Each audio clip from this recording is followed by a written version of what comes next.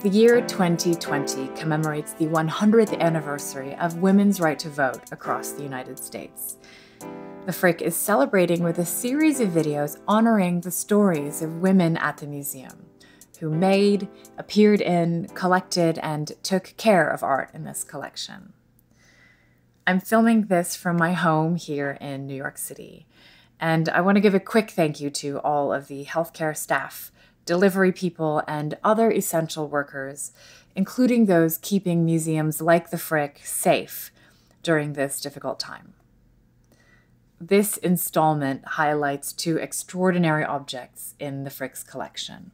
Take a look at these two letters, SC. These are the initials of Suzanne de Court, the only known female head of a workshop producing luxury objects like this pair of enameled salt cellars in the famous center of enamel painting, Limoges, in France, at the end of the 16th and early 17th century. She's the only known woman amid generations of men to have led a workshop in Limoges. But what's her story? Unfortunately, we know very little about her. We don't know when she was born or died or what she looked like. She was part of the de Court family of enamelists, but we don't know if she was the daughter of an artist or married one, becoming head of the workshop after her husband died. And we don't know if she actually made all of the objects that bear her name, or if, like her male counterparts, as head of a workshop, she would put her name on whatever the workshop produced. Still, she is unique, and her workshop created some of the finest enamels of her time.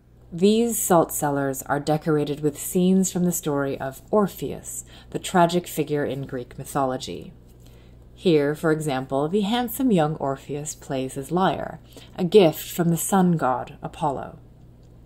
On the other salt cellar, Orpheus dies. There's his head in the water with his lyre, and to the right, Apollo protects the head from a hungry looking dragon. As salt cellars, little dishes to hold salt. And remember that salt was an extremely expensive commodity in this period. These would have decorated the dining room of their wealthy owner and were probably used very rarely, on special occasions, if at all. So the next time you ask someone to pass the salt, give a thought to Suzanne de Court and other women active in the production of art objects around the world.